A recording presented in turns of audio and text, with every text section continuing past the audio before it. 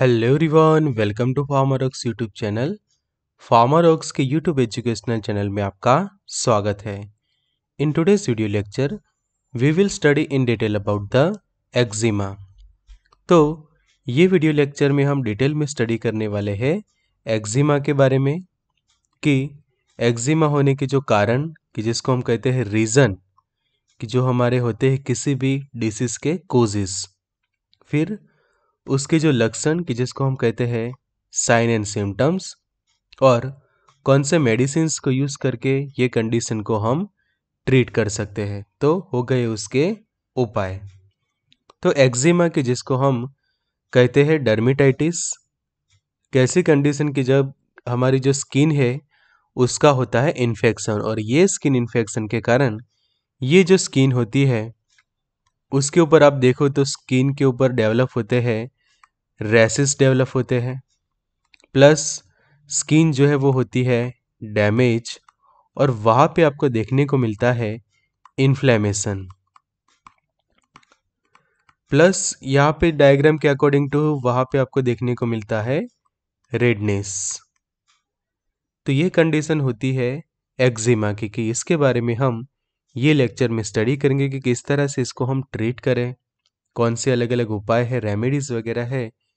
कि जिससे हम इसको ट्रीट कर सकते तो शुरू करते हैं लेक्चर में। Expert lecture by Amar sir assistant professor and founder of Pharma Rocks thank you for being one lakh family of Pharma Rocks updated रहिए फार्मा नॉलेज के साथ। एक्सेस करिए study material test series video lecture on F Pharma Rocks कि Pharma Rocks के ऊपर आपको test series video lecture and study material access करने को मिल जाएगा। कि अगर आपके पास आईफोन है तो गूगल प्ले स्टोर पर से ऐप डाउनलोड कर सकते हैं और अगर आपके पास आईफोन है तो ऐप स्टोर पर से डाउनलोड कर सकते हैं। लिंक हमने डिस्क्रिप्शन बॉक्स में आपको दे दी है। तो शुरू करते हैं लेक्चर में। तो सबसे पहले जानिए डेफिनेशन रिगार्डिंग द एक्जिमा तो एक्जिमा की जिसको हम कहते हैं dermatitis is a group of disease that result in a inflammation of the skin. That result in a inflammation of skin. तो इन्फ्लेमेशन ऑफ़ स्किन क्यों कहते हैं इसको? तो जाने तो जो वर्ड है डर्मेटाइटिस डर्मेटाइटिस तो जिसके अंदर जो डर्मे का जो मतलब होता है दैट मीन्स कि स्किन और जो टाइटिस है, उसका मतलब होता है इन्फ्लेमेशन जिसका मतलब होता है इन्फ्लेमेशन तो जब ये वर्ड पूरा तैयार होता है डर्मेटाइटिस तो डर्मेटाइटिस वर्ड का जो मीनिंग होता है दैट इज़ स्किन इन्फ्लेमेशन तो ये ऐसे टाइप के स्किन डिसीज है कि जिसके अंदर आपकी स्किन के ऊपर इन्फ्लेमेशन भी देखने को मिलता है और साथ में वहाँ पे डेवलप होते हैं रेसिस और वो रेसिस के अंदर आपको इचिंग के भी सेंसेशन होते हैं। एज वेल एज वहाँ पे आप ये जो डायग्राम के अकॉर्डिंग टू स्किन जो है वो काफ़ी आपको ड्राई देखने को मिलेगी। स्किन जो है वो हो जाएगी रफ स्किन आपको देखने को मिलेगी। वहाँ पे रेडनेस हो जाएगा। एंड जो हम यहाँ पे देख रहे हैं कि ये वाले जो पोर्सन्स ये सब है कि वो हम कह सकते हैं कि वहाँ पे डेवलप हुआ है ये इन्फ्लेमेशन इन्फ्लेमेशन मतलब कि जो हिंदी में कहते हैं हम कि सूजन आना, कि वहाँ पे जो सूजन आ जाती है, ऐसा प्रोड्यूस होता है कि जो इन्फ्लामेशन हम कहते हैं तो ये कंडीशन हम कहते हैं मेडिकल टर्म्स के अंदर एक्जिमा कि उसके लिए दूसरा भी एक वर्ड है दैट इज़ डर्मेटाइटिस तो दोनों एक दूसरे के सिनोनिम है कि eczema at is equal to the dermatitis तो this disease are characterise by itchiness red skin and rashes, कि जैसे मैंने अभी आपको बताया कि ये डिसीज़ के अंदर मेनली जो हम देखें तो स्किन जो है वो पेशेंट की ड्राई हो जाती है रफ होती है रेडनेस देखने को मिलता है और वहाँ पे उसको ईचिंग के भी सेंसेशन होता है। वहाँ पे ईचिंग के भी सेंसेशन होते हैं कि जिसको हम कहते हैं खुजली। In case of short duration There may be small blisters, while in long term cases, the skin may become thicken मतलब कि कई बार स्किन जो है वह काफ़ी थिक हो जाती है कि जब कोई कंडीशन लॉन्ग टर्म कंडीशन होती है कि काफ़ी काफ़ी दिन तक समझो कि ये डिसीज़ चलता है तो आपकी जो स्किन है वो ठीक हो जाती है और जब शॉर्ट ड्यूरेशन का ये प्रॉब्लम होता है तो उस वक्त आपको सिर्फ़ स्मॉल ब्लिस्टर्स देखने को मिलेंगे स्किन के ऊपर और जब आपको उसकी ट्रीटमेंट करवाते हैं तो ट्रीटमेंट के बाद वो फिर से नॉर्मल हो जाता है। तो कोजेज क्या है? What are the reasons behind the eczema तो वो रीजंस जानते तो सबसे पहले हम रीजन जानेंगे दैट इज़ कि abnormal function of the immune system कि हमारी जो इम्यून सिस्टम है, उसका जो फ़ंक्शन है, वो हो जाता है एबनॉर्मल और जब एबनॉर्मल फ़ंक्शन होता है इम्यून सिस्टम का तो उसके कारण जो डिस्टरबेंस प्रोड्यूस होते हैं हमारे इम्यून सिस्टम के अंदर जो uh, जो सेल्स एसोसिएटेड होते हैं कि जो हमें इम्यूनिटी प्रोवाइड करते हैं उनका जो फ़ंक्शन जब एबनॉर्मल हो जाता है तो किसी भी तरह की ये जो एंटीजेंस या फिर कोई एलर्जेंस हमारे बॉडी के अंदर एंटर होते हैं तो उनके कारण तुरंत आपको उसकी एलर्जी के कारण हो सकता है स्किन के ऊपर ये स्किन का इन्फेक्शन कि जो है एक्जिमा टाइप का। तो ये एक रीज़न बनता है। सेकंड रीज़न है कि स्किन बेरियर्स की डिफेक्ट डिफेक्ट है बट किसकी? तो स्किन के जो बेरियर्स होते हैं, उनकी डिफेक्ट के कारण क्या होता है? दे अलो मॉइस्चर आउट मतलब कि स्किन का समझो कि जो लेयर है आपकी। तो स्किन के लेयर में से मॉइस्चर जो है वो रिमूव हो जाएगा। और जम्स इन जबकि उसके अंदर जो जम्स है, वो हो गए एंटर तो स्किन में से एक तो मॉइस्चर गायब हो जाएगा मॉइस्चर रिमूव होगा, जिसके कारण स्किन क्या होगी, आपकी ड्राई होगी। और जब उसके अंदर जम्स एंटर होंगे बैक्टीरिया एंटर होंगे तो वो बैक्टीरिया वो स्किन को क्या करेंगे? डैमेज करेंगे। स्किन का करेंगे इन्फेक्शन और वो आगे जाके कंडीशन बनेगी एग्जेमा की। तो ये एक दूसरा एक मेन रीज़न है कि जिसके कारण किसी भी पर्सन को होता है एग्जेमा की। जो स्किन के जो बेरियर्स हमारे जो होते हैं, वो जब अच्छे से काम करते थे तो प्रॉपर उसके अंदर मॉइस्चर बना रहता है और ये जम्स वगैरह को उसको अंदर नहीं आने देते। बट जब ये स्किन के बेरियर्स डिफेक्टिव हो जाते हैं अलग अलग डिसीज़ के कारण डिसऑर्डर्स के कारण इम्यून सिस्टम के प्रॉब्लम के कारण एलर्जी के कारण तो उस वक्त जो है वो मॉइस्चर आउट हो जाता है, जिसके कारण स्किन ड्राई होती है और जम सेंटर होने से स्किन डैमेज होती है। तो ये सेकंड रीज़न थर्ड रीज़न जाने दैट इज़ एंडोक्राइन डिसऑर्डर्स कि जब किसी को थायराइड डिसीज होती है थायराइड रिलेटेड की हाइपरथायरॉयडिज्म हो या फिर हाइपो दोनों कंडीशन में एक्जिमा हो सकता है इचिंग हो सकती है स्किन डिसीज हो सकती है। नंबर फोर की microbes include the bacteria such as Staphylococcus aureus ये जो डायग्राम में, हम ये जो डायग्राम्स के अंदर जो बैक्टीरिया देख रहे हैं वो है स्टेफाइलोकोकस ओरियस तो वो बैक्टीरिया के इन्फेक्शन के कारण भी ये स्किन डिसीज हो सकती है, जिसको हम कहते हैं एक्जिमा फिर वायरसेस के कारण एंड कुछ जो फूग होती है फंगाइज होती है, वो भी रिस्पॉन्सिबल होते हैं एक्जिमा के लिए। फिर जब एनवायरमेंट चेंज होता है, कि टेम्परेचर समझो कि इंक्रीज होता है, कि हॉट वेदर हो, या फिर बहुत ज़्यादा कूल या फिर कोल्ड वेदर हो जाए तो ऐसे कंडीशन में भी एक्जिमा होता है किस लोगों को कि जो हम कहते हैं एनवायरमेंटल चेंजेस के कारण होने वाला एक्जिमा फिर एक रीज़न है कि फ़ूड की एलर्जी कि बहुत सारे लोगों को हम देखते हैं कि अलग अलग फ़ूड की एलर्जी होती है, और वो एलर्जी के कारण भी आपको एक्जिमा हो जाता है। कि समझिए कि सर्टेन ऑयल्स कि कुछ ऑयल्स के कारण कि समझे कि आपको कुछ ऐसे ऑयल्स खाते हैं तो उनके कारण तुरंत स्किन डिसीज हो जाती है एलर्जी हो जाती है। कुछ ऐसे फल खा लेते हैं आप, कुछ ऐसी सब्ज़ी खा लेते हैं कि जिसकी आपको एलर्जी है। मतलब कि कोई भी फ़ूड कि जो उसको खाने से आपको एलर्जी होती है, उसके कारण भी आपको एक्जिमा हो सकता है। फिर कुछ लोगों के अंदर ये जीनेटिक्स भी कली भी होता है कि जो हम बात करें कि फैमिली हिस्ट्री के तौर पे। कि फैमिली हिस्ट्री है किसी को एक्जिमा की तो आगे जाके ये जेनेटिकली उसकी जो अगली जो पीढ़ी वगैरह होगी, उसके अंदर भी वो देखने को मिलेगा।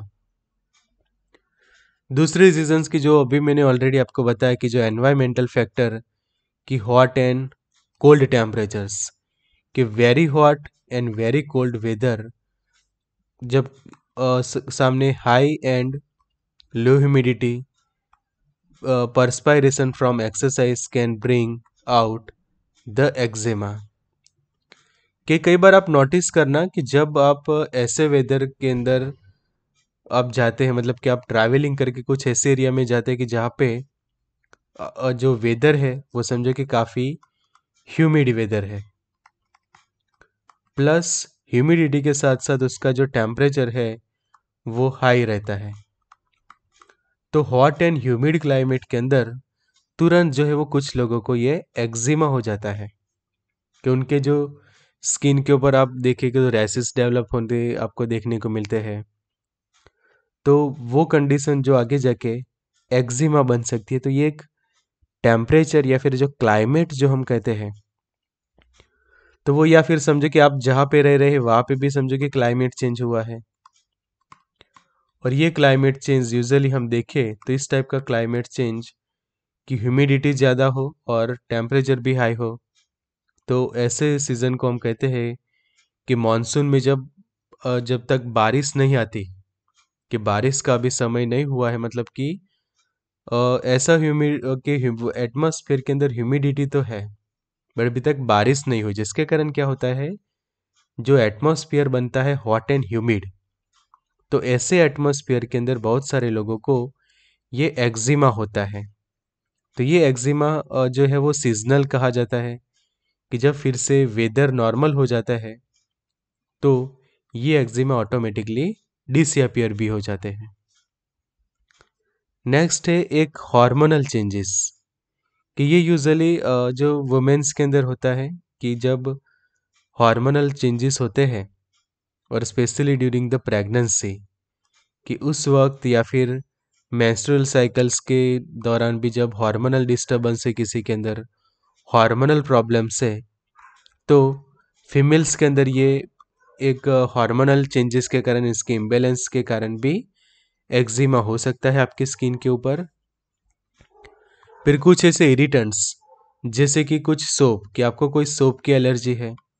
कोई डिटर्जेंट की एलर्जी है, कोई शैम्पू की एलर्जी है, disinfectant, juice from the fresh fruit, meat, vegetables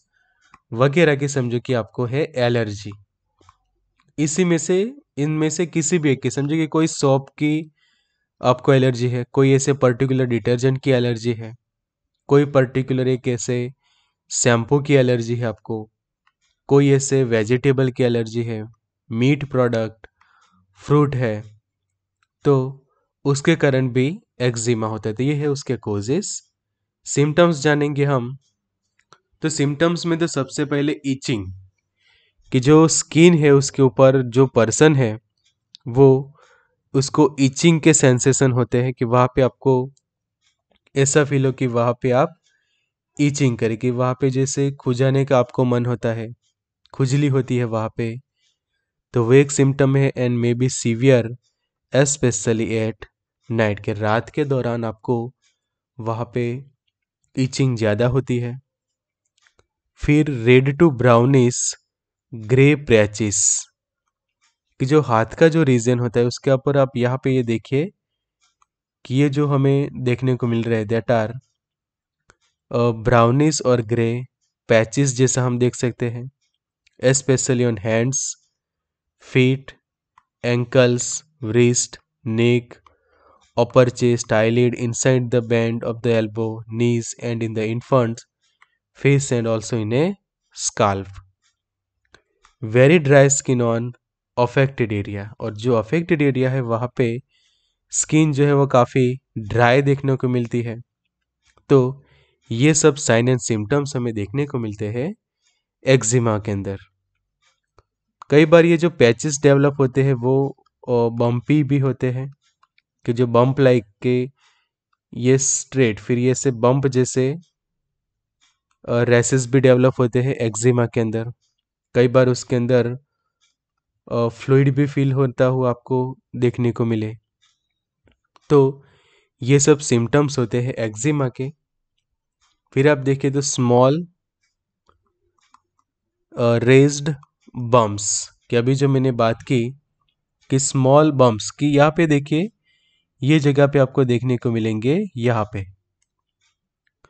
फिर ये जो, ये वाला रीजन है तो ऐसे आपको ये जो डायग्राम के अंदर ऐसे बहुत सारे ऐसे क्या देखने को मिलेंगे? बम्प्स कि जैसे नॉर्मल स्किन फिर अचानक से थोड़ा भाग ऊपर, फिर नीचे, जैसे रोड पे बम्प्स आप देखते हैं सेम लाइक दैट रोड पे जो बम्प्स होते हैं स्पीड ब्रेकर्स होते हैं सेम लाइक दैट ऐसे बम्प्स डेवलप होते हैं विच में leak fluid and crust over when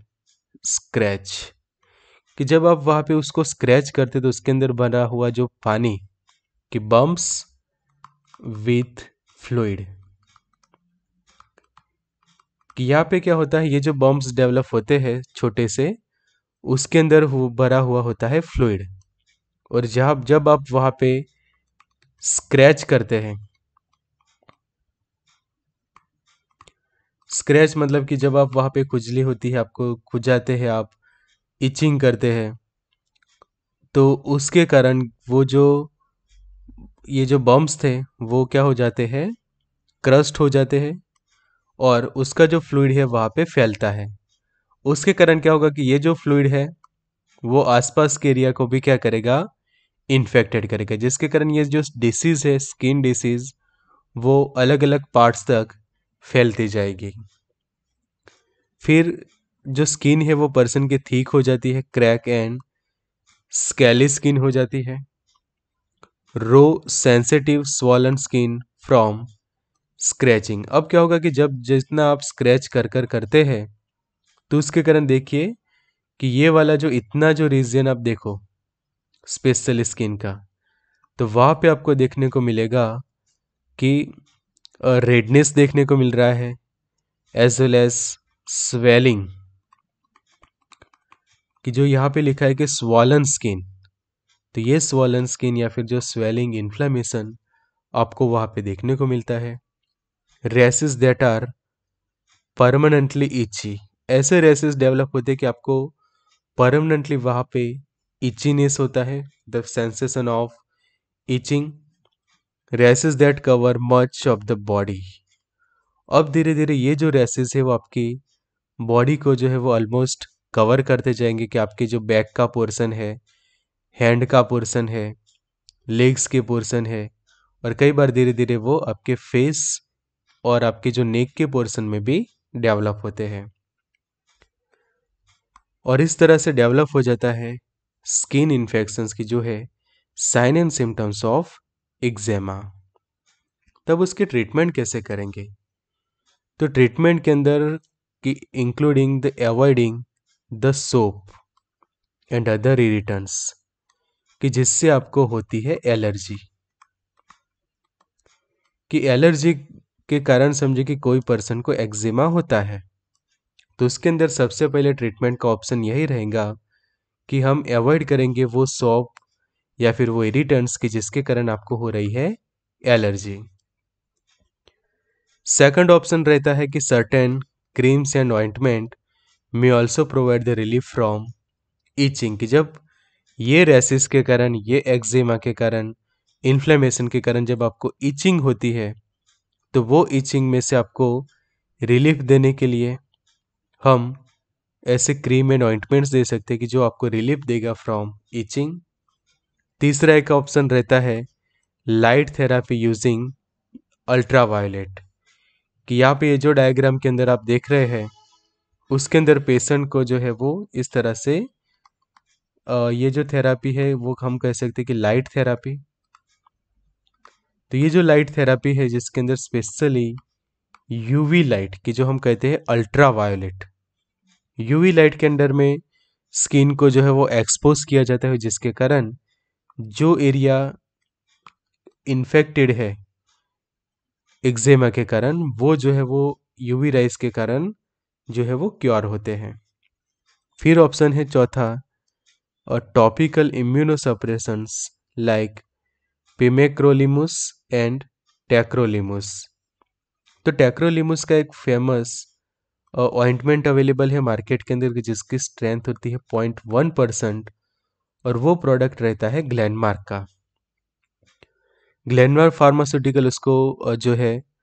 वो मैन्युफैक्चर करती है। तो वो आर एक्स ओनली मतलब कि प्रिस्क्रिप्शन बेस्ड रहेंगे। ये जो है, रहेंगे R X only prescription based medications रहेगी कि जो यूज़ होती है टू ट्रीट एक्जिमा तो यहाँ पे देखिए कि जो टॉपिकल टैक्रोलिमुस का जो प्रोडक्ट हम देख रहे हैं, कि topical tacrolimus has been approved by the US Food and Drug Administration की यूएस एफडीए के द्वारा अप्रूवल है and use for the treatment of topic dermatitis कि जिसको हम कहते हैं एक्जिमा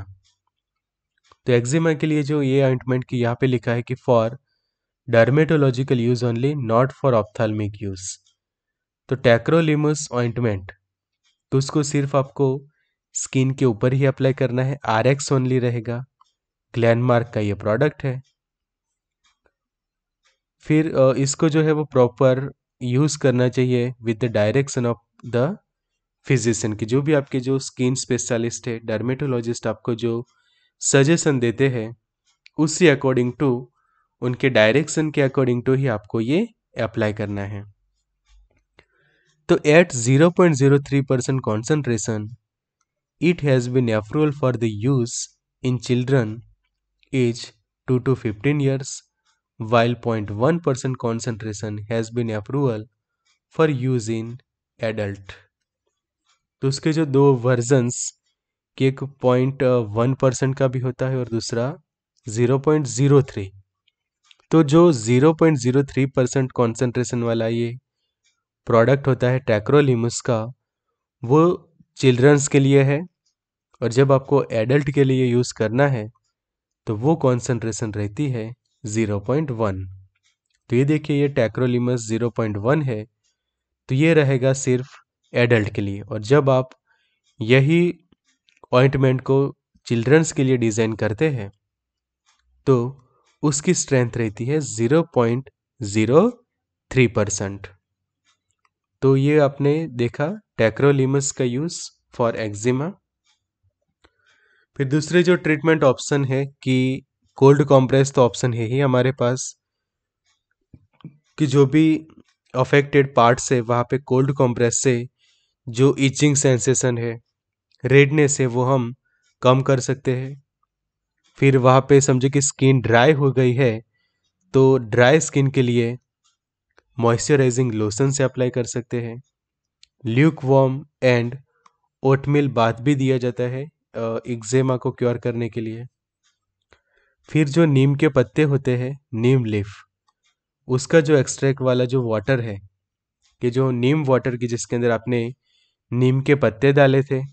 और ये नीम के पत्ते डाल के जब आप वो पानी को उबालते हैं अच्छे से, और वो पानी से जब कोई अच्छे से नहाता है तो ये जो नीम वाटर बाथिंग थेरापी भी काफ़ी इफ़ेक्टिव साबित होती है। बिकॉज़ जो नीम है, वो नेचुरली हम बात करते हैं कि नेचुरली उसके अंदर एंटीसेप्टिक एक्टिविटीज़ है। उसके जो फार्माकोलॉजिकल प्रॉपर्टीज़ देखे तो एंटीसेप्टिक एंटी फंगल वगैरह उसके अंदर एक्टिविटी प्रॉपर्टी से साथ में एंटीबैक्टीरियल प्रॉपर्टी भी नीम के अंदर होती है। तो ये नीम एक्सट्रैक्ट का वाटर साथ है, ऐसे ही मेडिकेटेड सोप की जिसके अंदर नीम एक्सट्रैक्ट हो, दूसरे ऐसे मेडिकेशंस हो कि जो मिला के बनाएँगे कोई मेडिकेटेड सोप हाइड्रोकॉर्टिसोन्स की जो ओवर द काउंटर क्रीम्स आती है, वो पेशेंट्स यूज़ कर सकते हैं as well as over the counter antihistamines के टैबलेट तो हर्बल्स के अंदर जो नीम फिर एलोवेरा और कोकोनट ऑयल तो ये तीन ऑप्शन हमारे पास रहते हैं यहाँ पे कि नीम। तो ये जो नीम देख रहे हैं कि नीम जो है, उसके समझो कि जो लीफ है, उसकी पेस्ट आप बनाते हैं। फिर ऐसा वाटर डिज़ाइन करते हैं कि जिसके अंदर ये नीम की जो लीफ होती है, उसका एक्सट्रैक्ट अवेलेबल हो। एलोवेरा समझो कि अफेक्टेड पार्ट पे अप्लाई किया जाए तो उससे भी राहत रहती है पेशेंट को। ईचिंग कम होती है। फिर वहाँ पे मॉइस्चराइजर प्रोवाइड करेगा और same by the coconut oil तो नीम तो हम जानते हैं कि नेचुरली एंटीसेप्टिक है, साथ ही एंटीबैक्टीरियल है तो वो प्रॉपर्टी देगा। एलोवेरा की एक मॉइस्चर प्रोवाइड करेगा same like that coconut oil की, जिसके कारण ड्राई स्किन की ट्रीटमेंट होगी। फिर आगे देखिए तो कैलेमाइन लोशन भी ऑप्शन है कि जिसके पास भी एक्टिविटी है एंटीसेप्टिक एंड एस्ट्रिंजेंट एक्टिविटीज़ है। तो ये कैलेमाइन लोशंस के अंदर हम देखें तो दूस, के जो यूज़ होते हैं एक्जिमा में भी आप यूज़ कर सकते हैं उसको। फिर impetigo sunburn dermatitis itching varicose sores and psoriasis तो ये सभी स्किन डिसीज के अंदर ये इफ़ेक्टिव साबित होता है कि आपको एक्जेमा है तो वहाँ पे ये पिंक कलर का ये जो लोशन होता है, कि जिसको हम कहते हैं पिंक लोशन। तो ये पिंक लोशन जब कोई पर्सन अप्लाई करता है अफेक्टेड पार्ट के ऊपर तो काफ़ी उसको राहत मिलती है। कूलिंग सेंसेशन सा होता है और धीरे धीरे ईचिंग के सेंसेशंस भी कम होते हैं और उसके अंदर रहा जो कैलेमाइन है, जिंक वगैरह होते हैं, इंग्रेडिएंट तो वो एक्जेमा को अच्छे से ट्रीट करते हैं और क्योर करते हैं। फिर हम आगे देखें कि यूज़ ऑफ़ मेडिकेटेड पाउडर्स तो मेडिकेटेड पाउडर्स के अंदर जो माइकोडर्म है तो माइकोडर्म पाउडर की जो एफडीसी का ये प्रोडक्ट है। कि आपने एफडीसी का नाम सुना हो क्योंकि जो फ़ेमस एक फार्मास्यूटिकल कंपनी है तो ये फार्मास्यूटिकल कंपनी डिज़ाइन करती है ये माइकोडर्म करके एक मेडिकेटेड पाउडर कि जिसके अंदर रहता है कॉम्बिनेशन रहता है बेंजोइक एसिड का सेलिसिलिक एसिड एंड मैंथोल रहता है, और साथ में उसके अंदर होता है स्टार्च तो ये एक मेडिकेटेड डस्टिंग पाउडर जो हम कहते हैं कि ऐसे पाउडर की जो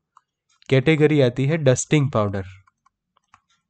पर ये डस्टिंग पाउडर के अंदर इंक्लूड होता है मेडिसिन जिसके कारण उसको हम कहते हैं मेडिकेटेड डस्टिंग पाउडर तो इसमें दूसरा एक ऑप्शन है आपके पास that is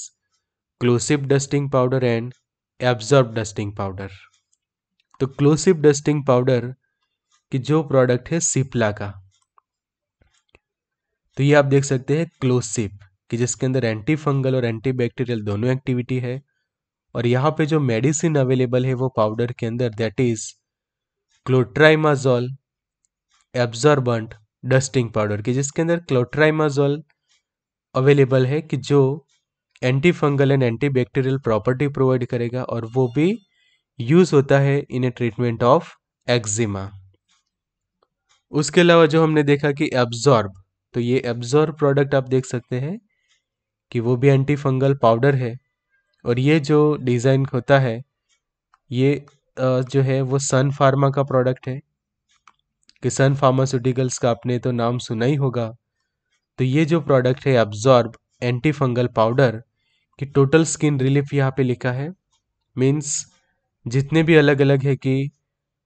ईचिंग को कंट्रोल करता है, फिर जो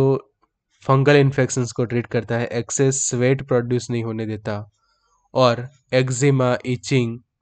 वगैरह के अंदर ये काफ़ी पावरफुल साबित होता है ये Abzorb anti fungal dusting powder तो यहाँ पे आपके पास तीन ऑप्शन है। तीनों में से जो भी आपको सूट हो, वो यूज़ कर सकते ये तीनों काफ़ी फ़ेमस फार्मा कंपनी से कि ये एफ़ है, ये सिप्ला का है और ये सन फार्मा का प्रोडक्ट है। तो तीनों काफ़ी इफ़ेक्टिव साबित होते कि जो मेडिकेटेड पाउडर से फॉर एक्जिमा नेक्स्ट कि जो कोल्ड कॉम्प्रेस कि जहाँ पे भी इफेक्टेड पार्ट है, वहाँ पे आप जो आइस है या फिर आइस बैग कंटेनिंग जो ये आइस बैग है, वो आप वहाँ पे अप्लाई कर सकते हैं कि जिसके अंदर फिलअप किया हुआ है आपने आइस तो आइस वाटर है या फिर आइस है कि जिससे आप अफेक्टेड पार्ट पे दे सकते हैं कोल्ड कॉम्प्रेस तो कोल्ड कॉम्प्रेस से क्या होगा कि जो कोल्ड टेम्परेचर होगा, वो इचिंग सेंसेशंस को कम करेंगे कि जो एक सिम्टम है एक्जिमा का। कि एक्जिमा के अंदर सिम्टम में हमने देखा कि पर्सन को अफेक्टेड पार्ट के ऊपर कंटिन्यूसली ईचिंग होती है। तो ये ईचिंग को कम करने के लिए रिड्यूस करने के लिए कोल्ड कंप्रेस ज़रूरी है। अगर जो रीज़न हम कहें कि एक्जिमा के अंदर जो ईचिंग होती है, वो ड्राई स्किन के कारण होती है आपको तो एक्जिमा के अंदर होने वाले इचिंग का जो रीज़न ड्राई स्किन है तो ज़रूरी है तो हम स्किन मॉइस्चराइज़र यूज़ करें to provide moisture to skin तो स्किन मॉइस्चराइज़र तो आपको बहुत सारे मिल जाएँगे। जैसे कि ये संतूर का बॉडी लोशन होता है। नेविया का आप प्रोडक्ट देख सकते हैं। वैसल इनका ड्राई स्किन रिपेयर है। पॉन्ड्स का भी मार्केट में अवेलेबल है। हिमालय बहुत सारे ऐसे कंपनीज़ है कि जो स्किन मॉइस्चराइजर डिज़ाइन कर देगी, जो लोशन के फॉर्म में भी होती है। एज वेल एज उनके कोल्ड क्रीम भी अवेलेबल होते हैं। इवन आपको ये सूट ना होती हो और डायरेक्टली प्लेन नॉर्मल जो पेट्रोलियम जेली होती है, वो भी अप्लाई कर सकते हैं टू प्रोवाइड प्रॉपर मॉइस्चर फिर जो ल्यूक वॉम बाथ जो हम कहते हैं कि ऐसा पानी की जिसका टेम्परेचर 94 से 96 फ़ारेनहीट रहेगा और इसको 15 से लेकर 60 मिनट तक आप गर्म करेंगे और वही पानी के अंदर आप डालेंगे ओटमिल, कि जिसको हम कहते हैं जयका दलिया। और ये वाले पानी से जब कोई पेशेंट अच्छे से बात करता है और बात करने के बाद, नहाने के बाद अच्छे से आपकी बॉडी जो है वो ड्राई कर ले, कि ये जो ओट मिल कि यहाँ पे जो आप ओट देख रहे हैं तो ओट मिल के जो पानी वाला जो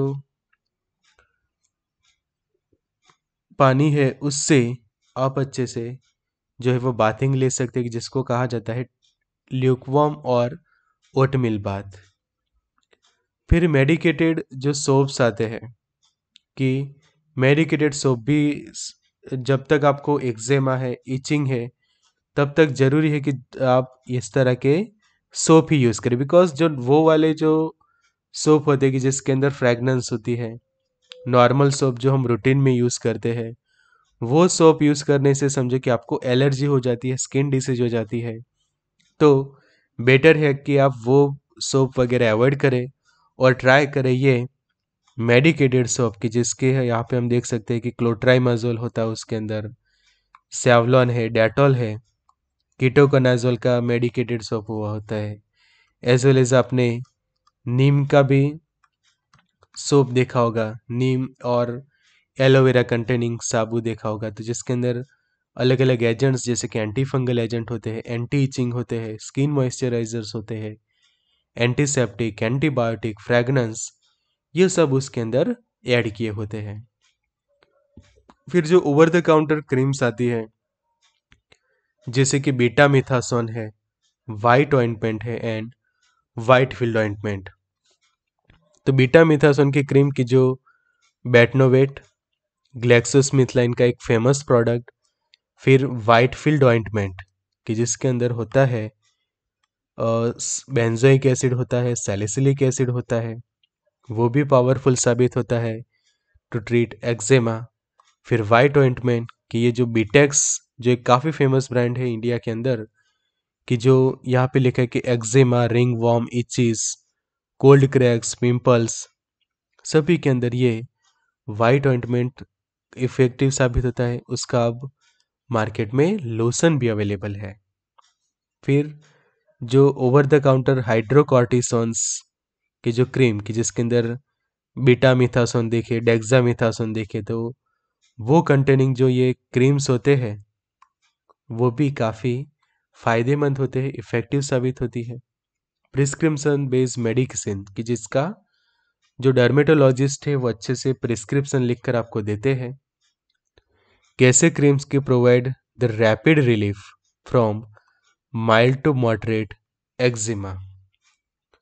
तो उसका जो ऑप्शन है crotamiton relieves the itching and skin irritations caused by the conditions such as itchy dermatitis and allergic rashes कि जिसको हम कहते हैं eczema and it can provide the relief from itching for several hours after each application. तो ये prescription based रहता है, ये प्रोडक्ट एबोट का है। क्रोटामिटोन की जो क्रीम आती है एज पर द आईपी तो क्रोटामिटोन क्रीम आईपी एबोट का प्रोडक्ट आप देख सकते हैं और ये रहेगा आर एक्स ओनली रहेगा। ये क्या रहेगी? R X only prescription base ointment रहेगा।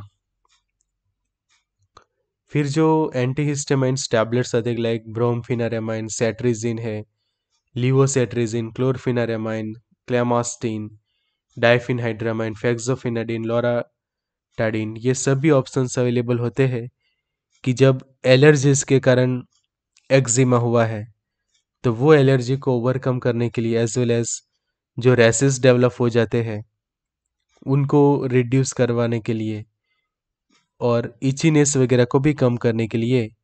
ये आप देख सकते हैं कि फिनाइरामाइन मेलेट की जो एविल करके जो प्रोडक्ट है एविल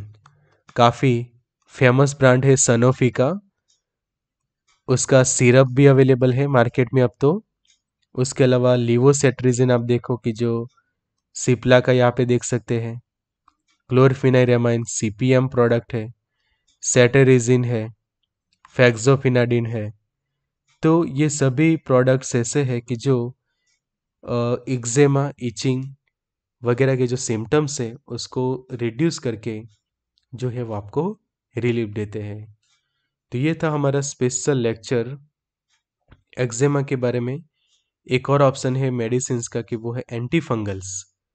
कि समझो कि फंगल इन्फेक्शन के कारण एक्जिमा हुआ है। तो उस वक्त क्लोट्राइमाजोल,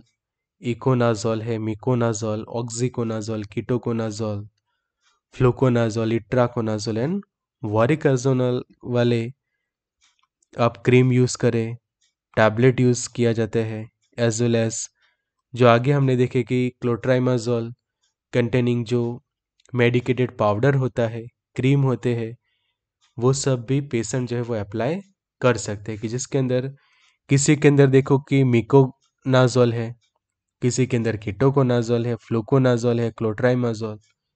तो ये सभी एंटी फंगल एजेंट्स भी इफ़ेक्टिव और काफ़ी असरदारक साबित होते हैं एक्जिमा के अंदर। तो ये जो हमारे लेक्चर्स होते हैं, उसके जो पीडीएफ होते हैं,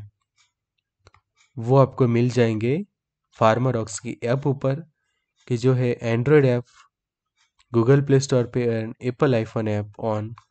app store link आपको डिस्क्रिप्शन बॉक्स में मिल जाएगी. Thank you for watching join करिए WhatsApp group nine four two six one eight zero eight three six use करिए फार्मारॉक्स एक्सेस करिए study material test series video lecture on F Pharmarox so good luck and all the best